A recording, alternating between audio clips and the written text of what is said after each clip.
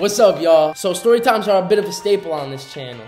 And I have this story I didn't tell y'all from back in 2023, and that's because it happened during that like two month span where I just wasn't uploading at all. So here we go. Are you ready?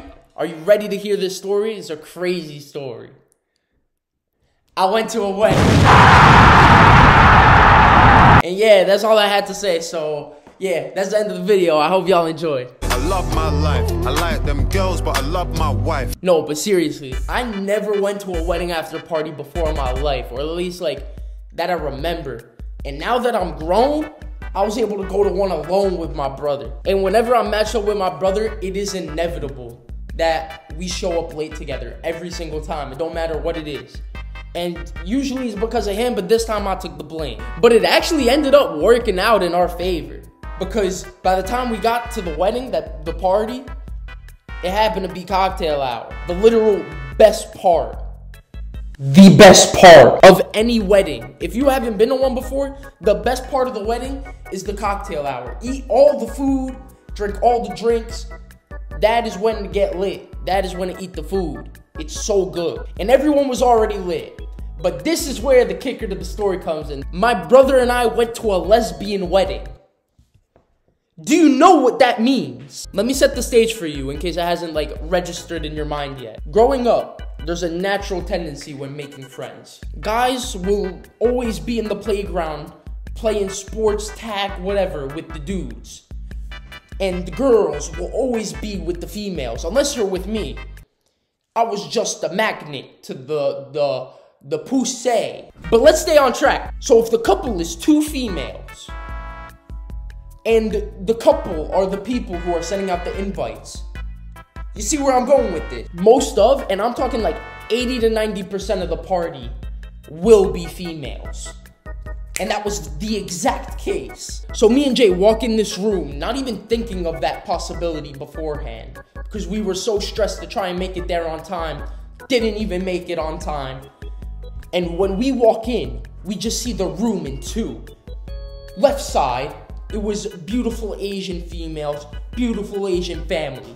Right side, beautiful Portuguese ladies, beautiful Portuguese female family.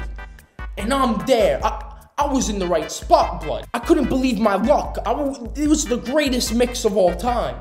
You're beautiful. So as you know, if you've never been to a wedding, cocktail hour finished up. Then the slow dances got going.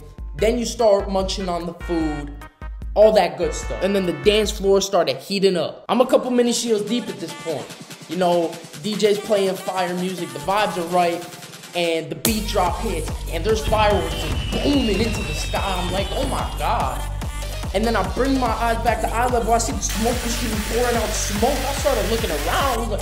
I thought Mbappe was gonna walk out. It was like I was experiencing a flipping walkout in EAFC. But yeah, we was dancing with the shorties. We was chatting with the shorties. We was having fun with the shorties. I'ma leave the story at that, you dig? I'ma leave the, the rest up for interpretation, for y'all's imagination to branch out to what happened. W night. I just wanted to warn y'all because there's a moral to every KMA story time. And the moral of this one, I'll put up a graph on the screen for you. The more females equates to more fun. So I hope every single one of my subscribers get to experience a grand phenomenon like that because I've never seen so so many females in the room at once. I think the the the ratio it was the opposite of a sausage fest. The ratio was actually like six to one females. Wait, but KMA, that's impossible. Exactly. But yeah, I hope everyone had a happy and God-filled new year. We lit, we going to the moon this year. I'm feeling it. I'm feeling it like deep, deep in my chest, in my heart, in my soul. I feel some some blessing coming crazy, not just for me, but for KMA Squad. So hit that subscribe button, hit the notification bell, and we out to the moon. I'll catch y'all. Peace. I've been on the road for a hundred nights. I love my life. I like them girls, but I love my wife. I'll jump out of the car, bro. Day for my niggas do dirt, cause I love my guys. Like, fuck them. It's like, fuck them guys.